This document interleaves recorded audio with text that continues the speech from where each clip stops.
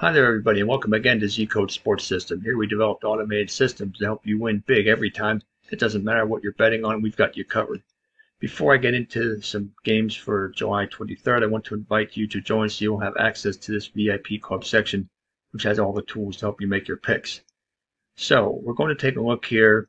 There's a full slate of games for July 23rd. We want to take a look at five of them as we are past the All Star break and the trade deadline is approaching. So, uh, the games are starting to become more important. So we're going to go down through these. Again, there's a full list of games. We're going to go through five of them. First one we're going to go through is Arizona and Cincinnati. You see the Diamondbacks come in ice cold down, coming off from a loss in 2 and 4 over their last six, while Cincinnati is coming off two wins. They are dead up, and they are 2 and 4 over their last six.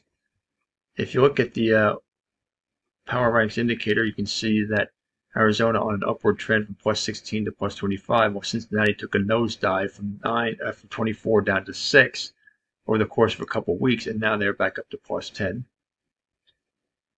If you take a look at the over/under, you can see that Arizona has been involved in games over in four of the last six, while Cincinnati under in five of the last six. So the teams are on opposite sides of the line at the moment. The score prediction has Arizona 9, Cincinnati 4. Confidence in the prediction, you see those just barely above the toss of a coin at 51%. If you look at the head-to-head matchup between the two teams, they have not yet met in the regular season this year. The consistency factor, you can see that Arizona is more stable at plus 24, excuse me, plus 14 compared to the Reds at plus 7, which means they are more consistent with regard to their favorite underdog status. So in the end, though, I think this is a Diamondbacks win on the road, and I'm going to go for a higher scoring game. So Arizona and over the line. Okay, the second one we want to look at is Baltimore and Tampa Bay in the AL East. Here you can see that Baltimore comes in average up. And you can see under here that Tampa Bay is ice cold down. And the big thing you can look at is the streak here. The streak here for Baltimore is 4 and 2 over their last six, while Tampa has lost their last four and they are 2 and 4 over their last six. Uh, the pitching matchup Tyler Wells against Taj Bradley. You can see Wells has a good ERA of 3.54 and is very good bet at plus $159, while Bradley has struggled. His ERA is 5.29, and his home ERA is even worse at almost 6, and is a very poor bet, as you can see here at minus 365. If you take a look at the over-under, you can see the teams have been involved in games on uh, opposite sides of the line. Uh, Baltimore mostly over, and Arizona, excuse me, Tampa Bay more under. The score prediction has Baltimore by an 8 to 3 score. You see here the confidence in the prediction at 63.2%.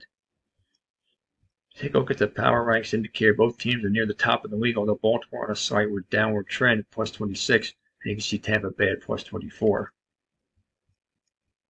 In the head-to-head matchup this year, the teams have already met several times. You can see that they met three times in May, with Baltimore winning two of the three, and teams splitting on two games uh, in Tampa Bay on Jan, uh, June 20th and June 21st. If we look at the stability factor, how consistent the two teams are, look at this. Tampa Bay among the most stable teams in the league at plus 32, while Baltimore is also pretty consistent, but not nearly as much at plus 13. So in the end, though, I like this to be an Baltimore win, but I'm going to pass on the over-under. Okay, so then the third one we want to look at here, as we go down through all these, is Atlanta and Milwaukee. Even though Atlanta's on the top of the league, um, they're struggling lately, just two and four of their last six. You can see they're ice cold up. You can see Milwaukee is burning hot, uh, winners of their last two and five out of their last six. The pitching matchup has Bryce Elder versus Julio Teheran. Um, Elder is a good bet at plus $38. Teheran not as much at minus 150, uh, 175, even though he has a good uh, home ERA of 3.10. But the away ERA of Elder is better at 2.83 than his ERA for the season at 3.31. If you take a look at the trends as far as the over-under goes, I would steer away from this because uh, Milwaukee's been involved in games under the line in their last six, and you can see on the opposite side of the spectrum, five over for Atlanta.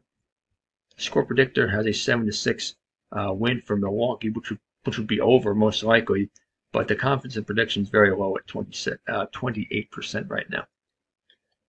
On the power ranks indicator, you can see Atlanta was at the top for quite some time. They have dipped now to plus 20 after their recent skid, and Milwaukee is up to plus 27. Okay, the stability factor, if you look at this, you can see that Atlanta is one of the most stable teams in the league at plus 27. Uh, Milwaukee, not as much, only at plus 2. You can see they've been hovering around that same the same margin since the beginning of the season. You can see plus 2 or plus 3 back on April 10th, and now they're plus 2 uh, months later. So in the end, I like Milwaukee at home, and I'm going to go under the line on this one. Um, the next one we want to look at is the Dodgers and the Rangers. You see right here, the Rangers come in burning hot winners of their last six, while the Dodgers are average uh, four and two over their last six. You can see the pitching matchups are Emmett Sheehan and Martin Perez. Both are good bets. Uh, Perez more so at plus $461, and his home ERA is significantly better than his ERA for the season, 3.48. And the road ERA for uh, Sheehan is very poor at 6.30. We take a look at the power ranks indicator, you can see Texas up here at the top of the league at the moment at plus 29. The Dodgers have been on an upward trend also recently from 23 up to 27 over the last couple of days. Okay, so let's take a look at the head-to-head matchup. The teams have not yet met this season. If you look at the stability factor, Texas is more consistent with regard to their favorite underdog status, but they have dipped somewhat in that category. You see that they were up as high as plus 16 or plus 17 even uh, a little over a month ago, and they're now at plus 14. And the Dodgers have been stable at plus 9 over the last few days. So I like the Rangers in this one at home, and I think this is going to be a higher scoring one. So let's take the Rangers and over.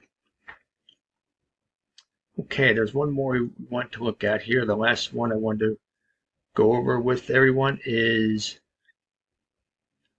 coming up here, Toronto and Seattle. And this one here, Toronto comes in average, 4 and 2 over the last six, while Seattle is just the opposite, 2 and 4 over their last six, and ice cold down. You can tell at the um, looking at the um, over under streak on opposite sides of the line, pretty much like under the last two for Toronto, while Seattle has been in long games over in their last three.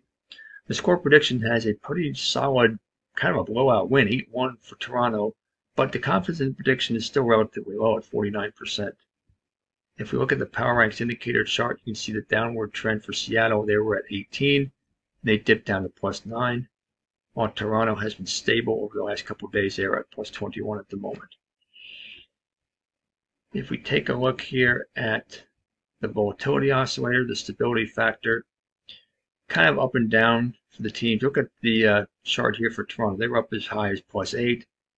They dipped down to minus 1, and now they are back to uh, plus 5, while Seattle has been mostly on an upward trend so up and upward trend, kind of stable here for a while in June, and now they are at plus eight.